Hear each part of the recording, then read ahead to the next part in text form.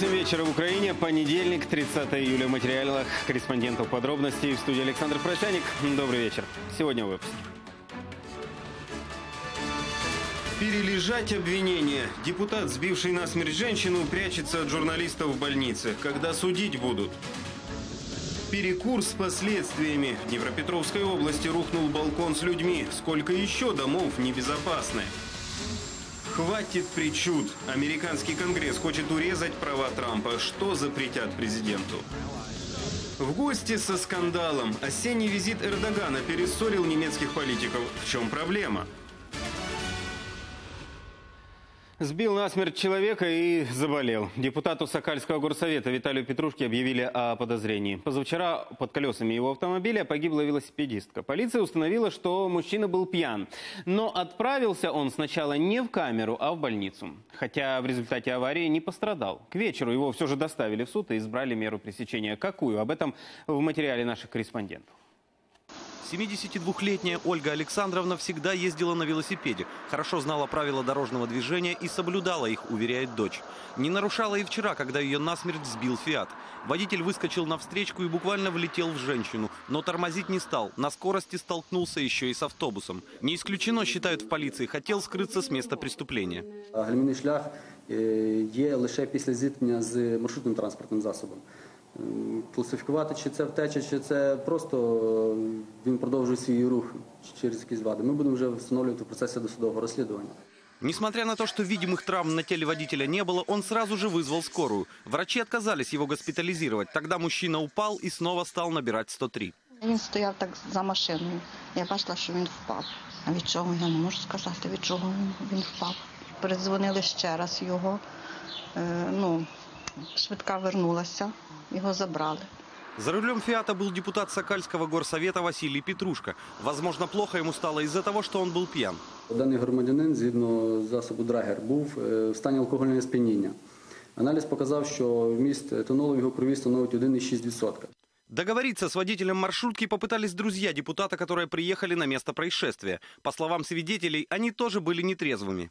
Ті товариші його були, то мені здається, що вони теж були такі собі. Ну, щось таке враження ви- виглядало, що вони такі були трохи випивші. Сейчас Василий Петрушка в больнице. Ему объявили о подозрении. Возле палаты выставили охрану. С журналистами депутат общался неохотно и заявил, что ничего не помнит о произошедшем. Я такого взагалі того не хочу чути. 1,6 в крові. Я не знаю, звідки у вас такі дані, у мене таких даних немає. Ну давайте ми з- закінчимо м, ту тему. Не стал депутат распространяться ни о своем самочувствии, ни о том, с каким диагнозом его положили в больницу. И пригрозил журналистам ответственностью, если от него не отстанут. Я без пам'яті був майже. Мені то потім показа- казали мені, розумієте? Я того не знаю. Я в мене не нервуйте мене, якщо в мене зараз підніметься тиск, будь ласка, будете відповідати перед доктором по закону. Полиция начала уголовное производство. Ближе к вечеру Галицкий суд Львова избрал меру пресечения Василию Петрушке. Два месяца под стражей без права внесения залога. Андрей Кровец, Виктория Балецкая, Михаил Заернюк. Подробности телеканал Интер, Львовская область. И смертельная авария под Киевом. Поезд Киев-Бердянск столкнулся с легковым автомобилем. Два человека, водитель и пассажир Рено, погибли на месте. Трагедия произошла на регулируемом железнодорожном переезде между Триполем и Мироновкой. По словам машиниста поезда, в момент ДТП шлагбаум был опущен. Водитель попытался проскочить перед составом, но не успел. Поезд на полной скорости врезался в машину и после удара протянул авто почти на километр вперед. Авария на несколько часов парализовала движение в направлении столицы. На данный момент правоохранители выясняют все детали этого происшествия. Внаслідок цієї дорожньо-транспортної пригоди загинули е, дві людини, які знаходились в салоні. Вони кияни, пенсіонери. Свідки кажуть, що автомобіль виїхав вже на залізничний переїзд після того, як е, спрацював звуковий сигнал. Потяг його збив на самому залізничному переїзді. Поїзд саме всередину автомобіля і вдарив. Протягнувши його, ну принаймні декілька сот метрів, ми будемо з'ясовувати е, обставини цієї дорожньо-транспортної пригоди. І теж будемо опитувати машиніста, Смертельные ДТП на железной дороге уже стали печальной тенденцией. На переездах не везде установлены сигналы. Приборы или не работают, или их нет вообще. Шлагбаумами оснащены всего 8% переездов, а каждый пятый без предупредительных светофоров. В результате за год произошло свыше 60 подобных аварий. Например, 27 июля в Черновицкой области столкнулись поезд и микроавтобус. Тогда два человека погибли, многих госпитализировали. В Одессе на взятке поймали проректора одного из госуниверситетов. Более 300 тысяч гривен он требовал у представителя местного предприятия.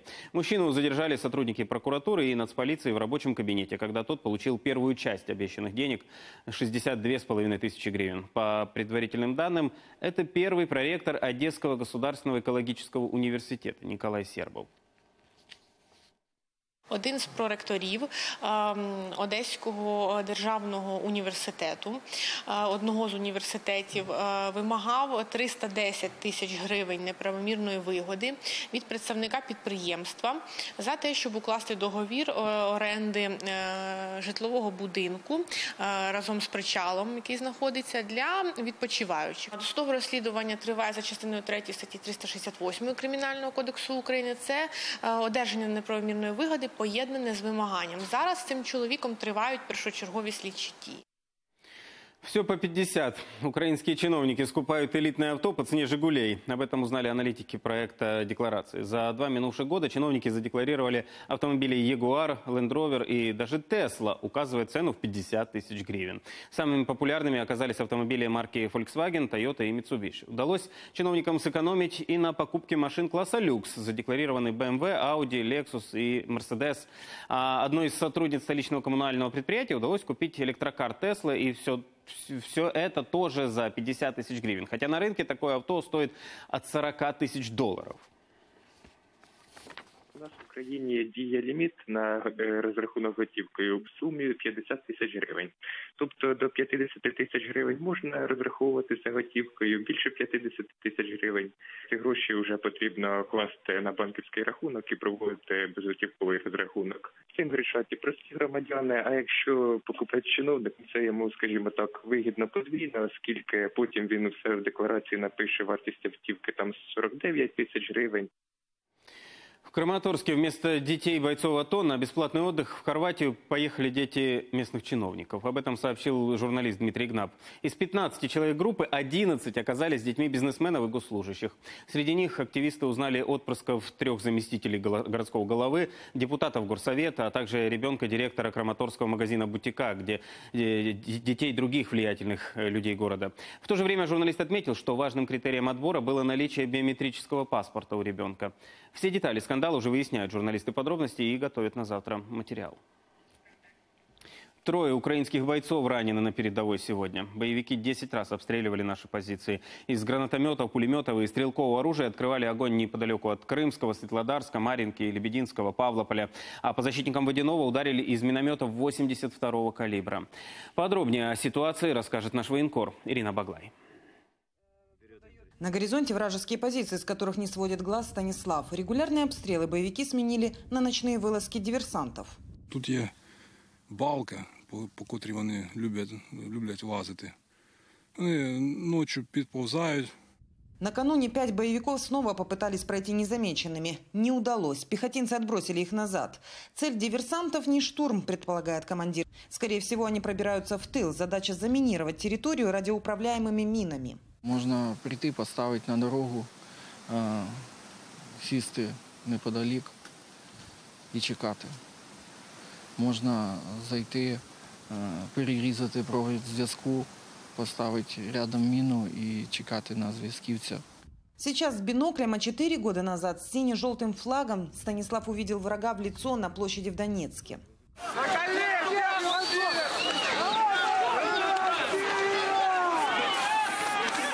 Тогда, 13 марта, пролилась первая кровь украинца, когда на проукраинском митинге до смерти забили 22-летнего Дмитрия Чернявского. И Станислав видел, кто заполонил его украинский Донецк. І там було дуже багато людей з Москви. Я в одного телефон попросив подзвонити. Я, я не можу, в мене тариф не ваш, я з Москви. Я думав, ну один, другий, третій. Це вже не випадковість. Тогда парень и решил, пойдет с оружием защищать свою страну. Тому що окупанти прийшли на нашу землю, почали вбивати українців, Е, Ну, я бачив це на власні очі, як вони в підвалах людей вбивали. В Донецке по-прежнему живут украинцы, которые ждут освобождения от оккупантов и не скрывают своих взглядов. Станислав поддерживает с ними связь. Мою сусідку зараз е, посадили в- у тюрму за проукраїнську позицію. Преследований не боится и сам. Я не маю скривати своє обличчя. Я захищаю свою землю. За родным Донецком тоскует, но нашел второй дом. Було дуже важко. А потім я звикся. Вінниця дуже гарне місто. Помимо службы, в будущем Станислав снова видит себя студентом. Вынужден был оставить Донецкий национальный технический университет, будучи на третьем курсе. В оккупированном городе остались и все документы. Ирина Баглай, Андрей Костюк, Руслан Ревюк из Луганской области. Подробности телеканал «Интер». Разрешение на свидание с сыном получила мать украинского политзаключенного Александра Кольченко. Лариса Кольченко сейчас в Челябинске, недалеко от которого в колонии номер 6 города Копейск содержится ее сын. Матери разрешили побыть вместе с Александром трое суток в отеле колонии. Им даже выделили комнату с удобствами. По словам Ларисы Кольченко, длительные свидания разрешены раз в 4 месяца, но увидеть сына она смогла впервые за 9 месяцев. С собой Лариса Кольченко привезла 20-килограммовую передачу. С просьбой помочь в организации встречи с еще одним политзаключенным в России Олегом Сенцовым Украина обратилась к немецким правозащитникам. Омбудсмен Людмила Денисова просит комиссара по защите прав человека в Германии повлиять на российских чиновников, которые всячески препятствуют встрече с Сенцовым. Сегодня уже 78-й день, как украинский режиссер голодает. О его самочувствии известно только со слов московских чиновников, которым в Украине не верят. У нас на сьогоднішній день дуже суперечлива інформація щодо стану е, здоров'я Олега Сенцова, і тільки я можу е, сказати. Так само відбувається ситуація або по-іншому, побачивши Олега Сенцова, я звернулася до німецького омбусмана, попросила її про допомогу. Може, вона звернеться теж як е, омбусман, як омбусман той країни, яка входить в нормандську четвірку, яка е, в тому числі е, ну причетна до якихось рішень відносно наших стосунків з Російською Федерацією. В Германию собирается Реджеп Эрдоган с первым государственным визитом на посту президента Турции. Поездка, которая может состояться осенью, уже разделила немецких политиков на два лагеря. О визите раздора Татьяна Лугунова. Он еще не приехал, а только собирается. И не в ближайшее время, а после летних каникул осенью. Но немецкие политики уже горячо спорят, нужно ли принимать в Германии президента Турции. И если да, то как? О подготовке визита Реджепа Эрдогана первыми сообщили немецкие СМИ. Дескать, лидер Турции планирует посетить Германию в конце сентября. И не с рабочим, а государственным визитом. А это значит, что и принимать его будут на высшем уровне. С красной дорожкой, воинскими почестями и торжественным банкетом. В планах у Эрдогана переговоры с первыми лицами государства и выступление перед турецкой диаспорой, которая живет в Германии.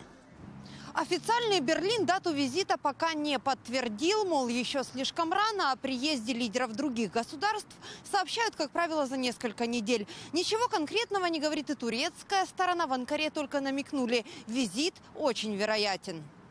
Пока вероятный визит уже раскритиковала немецкая оппозиция. Представители сразу нескольких партий, зеленые, левые, ультраправые, заявили, если Эрдоган и приедет, то власти Германии должны подготовить для него холодный душ. Никаких почестей, а жесткий разговор о нарушении в Турции прав человека и принципов демократии. Представители правящей коалиции парируют. Протокол есть протокол. И вообще, чтобы наладить диалог, нужно разговаривать, а не устраивать показательные демарши. Татьяна Лугунова, Вячеслав Фролов. Подробности немецкое. Бюро телеканала «Интер».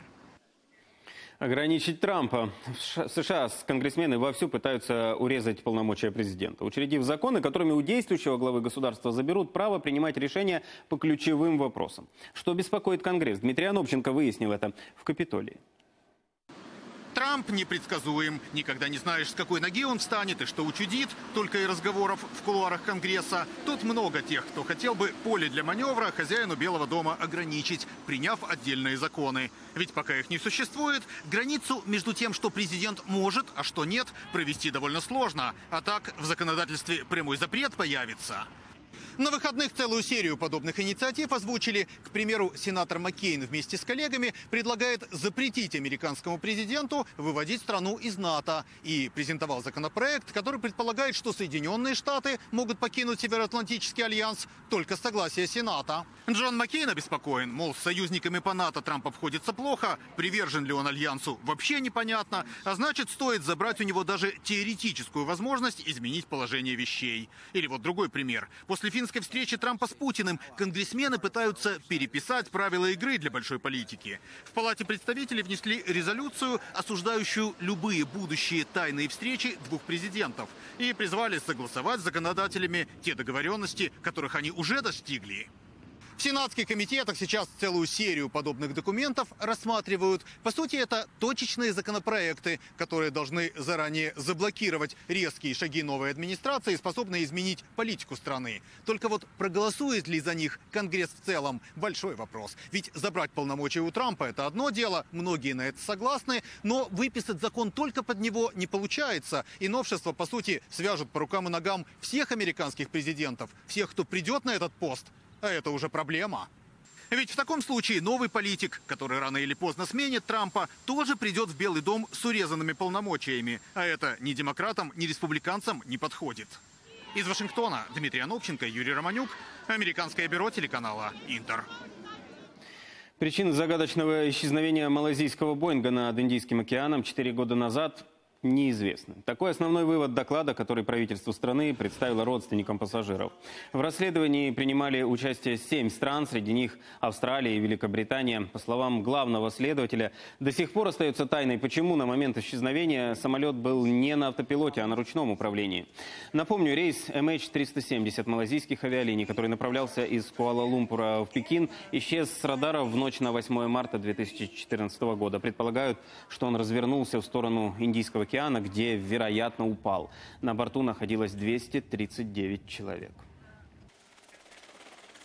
В Таджикистане автомобиль совершил наезд на четырех иностранных туристов, которые путешествовали на, велосипедах. После этого из салона вышли люди и убили иностранцев. Министр внутренних дел назвал это преступление терактом.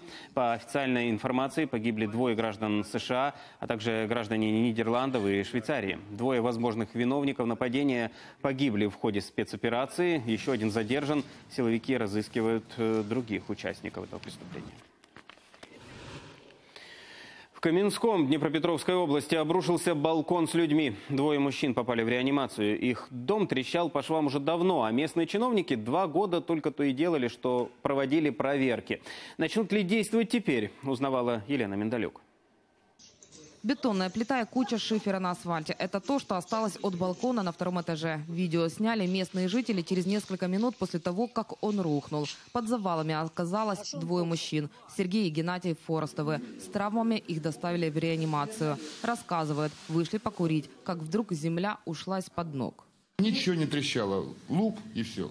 И мы на низу. Это благодаря Богу, что там детей не было. А так бы было бы серьезно перелом бедра и рваная рана. Когда упал, потом слышу по голове, там, по плечам шифер падает.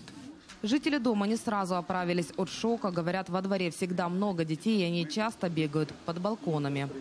Были, конечно, опасности. Ну и вообще страшно отпускать детей. У меня двое. Старшенький на велосипеде мог, и так на самокате. В этом двухэтажном доме всего два балкона. Один рухнул. Не исключено, что второй тоже в аварийном состоянии. На всякий случай коммунальщики огородили территорию ленточкой. Люди жалуются. Дому более 60 лет, но ремонт ни разу не делали. Ни косметический, ни капитальный. А два года назад по стенам пошли трещины. Появились такие трещины. Вот видите, пол дома отошло, четыре квартиры отошло как бы, ну, вот так книжечкой дом раскладывал, расположился. Сантиметров 7, наверное, трещины. Там еще больше. Обследовать здание тогда приехала комиссия. В трещинах установили так называемые маячки. Якобы даже подготовили проектную документацию. Но денег не нашлось. И все замерло. Одни пришли, что-то там порешали, порешали, пообещали, ушли. Потом явля- появляются новые люди, порешали, порешали, что-то пообещали и ушли. И вот так вот, ну, до вот этого случая. Коммунальные службы, проектировщики и чиновники сегодня снова обследовали дом. Почему балкон рухнул? Долго не думали. И практически сразу выдали версию случившегося. Балкон обрушился из-за своей ветхости. То есть там две консольно закрепленные швеллера, залиты бетона, вес довольно большой, там примерно две, две с половиной тонны бетона. Ну и э, от дом, дом, насколько знаю, 56 года или второго даже, вы можете представить. То есть швеллера просто прогнили и вывалились. Что делать с домом, в комиссии пока не знают. Будут ли отселять жильцов, решат через пару дней, когда получат результаты обследования. Но 8 семей, которые здесь живут, категорически против. А пока от греха подальше коммунальщики разобрали подобный балкон в соседнем доме. Елена Медалюк, Евгений Годнецов. Подробности телеканал Интер, Днепропетровская область. Власть должна компенсировать ущерб из-за задержек с выплатой пенсии. Об этом заявил нардеп Сергей Каплин. Он внес на рассмотрение парламента проект постановления, который предусматривает возмещение расходов на покупку лекарств, процентной ставки за не вовремя погашенные кредиты и коммунальные услуги. Если документ утвердят, то первые компенсации пенсионерам Кабмин обязан будет выплатить в течение месяца.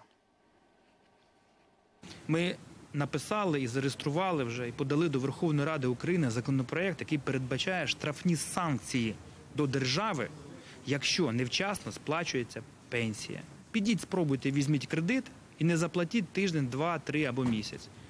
Вас обкладуть неймовірними процентами. Так само повинно бути і по відношенню до держави. Не платить пенсії, плати відсотки. Не заплатили за два тижні, затримали. Будь ласка, ще одну пенсію додатково. І ми повинні захистити простих людей у цій частині. Черновицкая область в воде. В регионе вот уже месяц беспрерывно идут дожди. Потоками сносят мосты, подтопленные целые села. В одном из таких побывали наши журналисты. И чтобы добраться к людям, пришлось ехать вброд, да еще и на пожарной машине. Как живется по ту сторону воды, Ольга Поломарюк расскажет. Оглушающий гул воды Евгения Мельничук, жительница поселка Берегомет, услышала под вечер. Женщина живет в сотне метров от реки. Рассказывает, течение сносило все на своем пути, выкорчевывало деревья и ломало электроопоры. Видно, це все туди до гори корчить, це все несло з корінням. І такого крутило все, да? вода сильна і велика. Що навіть страшно, вийдеш уночі з дому, то шумить, думаєш, що вже приближається до хатів. Вода снесла единственный в округе деревянный мост. Полсотни домов оказались отрезанными от мира. К людям добираемся на пожарной машине, иначе здесь не проехать.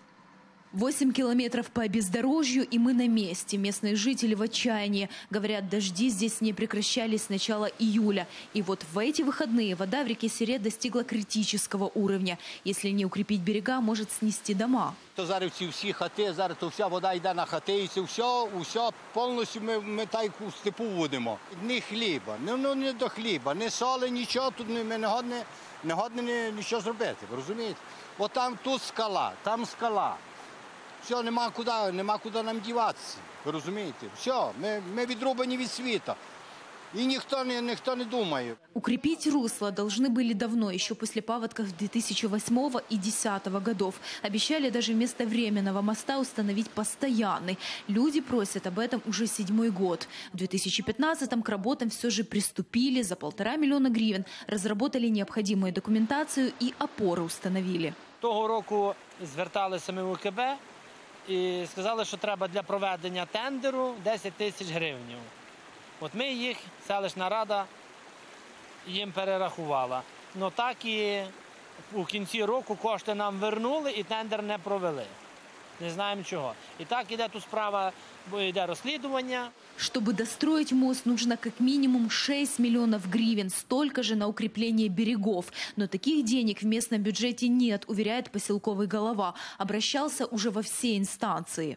Є багато таких участків, вони були заактовані. Ну тут треба капітально робити ці місця, тому що це таке тимчасово.